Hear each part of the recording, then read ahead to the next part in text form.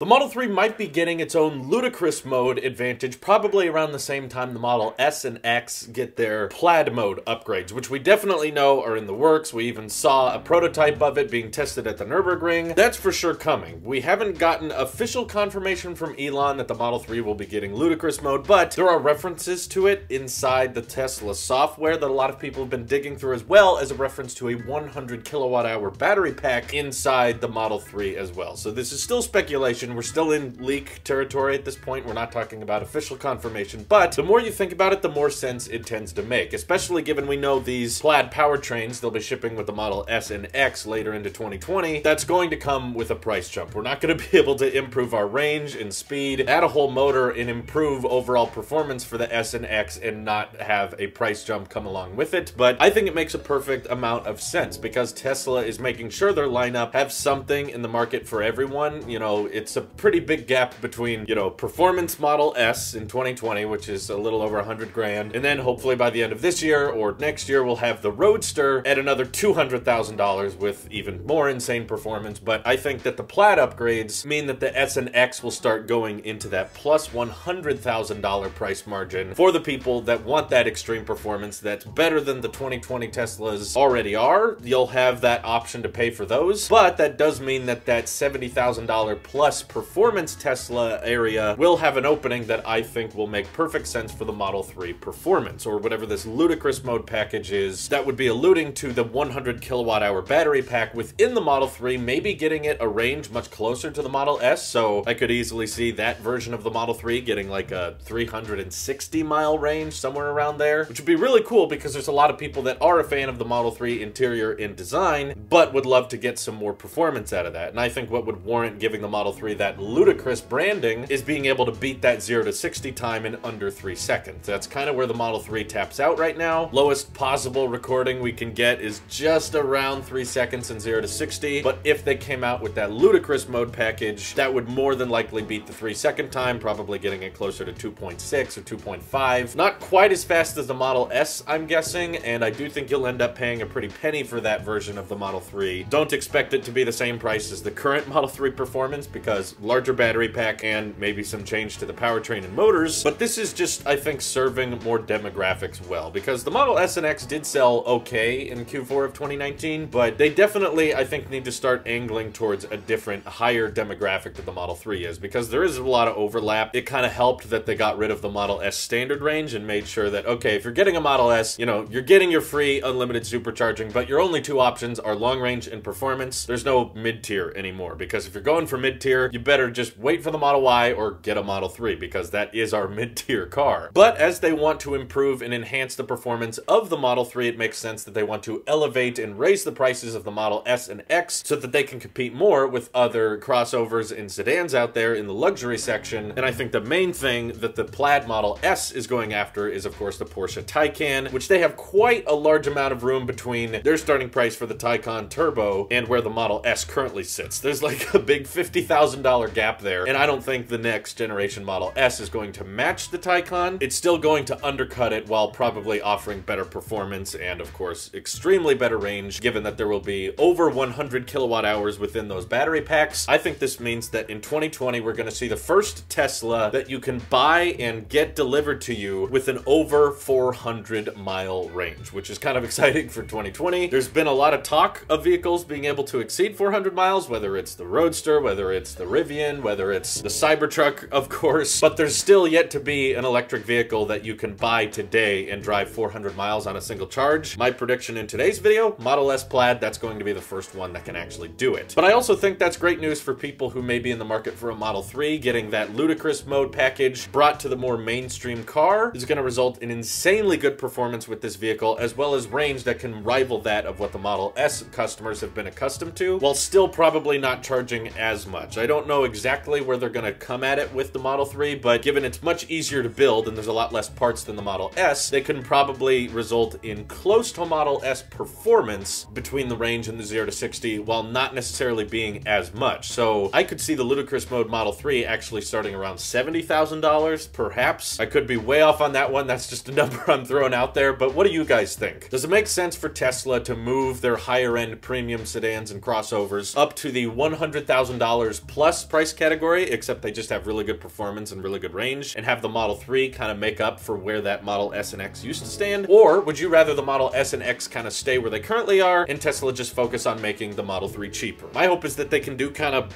a little bit of both. I would like the Model S and X performance to get much better because those are definitely more targeted at track performance, whereas the Model 3, you know, the whole reason they made it was to make Teslas more affordable to the masses. So try to understand what both vehicles' true purpose is. Anyway, all that good stuff. Let me know what you're thinking down in the comments below. Thank you guys for watching this video, and I hope you have an excellent day. Take care.